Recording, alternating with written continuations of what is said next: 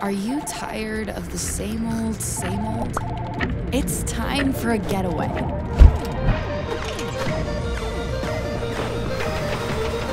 Get away to endless adventure in Devils Lake.